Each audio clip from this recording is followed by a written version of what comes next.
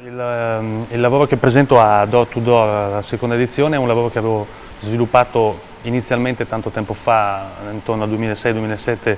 a Salerno, quindi è un lavoro che è nato diciamo, a Salerno.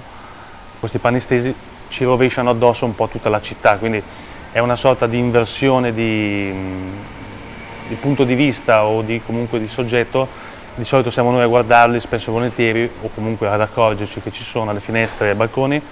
e in questo caso sono loro che poi invece ci presentano tutto quello che vedono dentro la città. Salerno di sicuro è una città che offre eh, queste corti e questi spazi a volte un po' nascosti, a volte anche un po' più dichiarati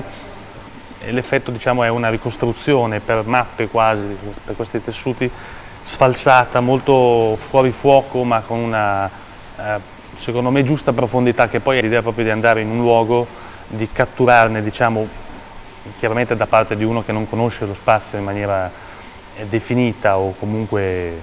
che non lo vive al 100%, però di catturarne quegli aspetti che forse a volte vengono anche banalmente eh, superati o comunque non sono poi il punto di interesse. Diciamo che l'effetto alla resa è sempre abbastanza scenico, è una installazione, una video installazione che decisamente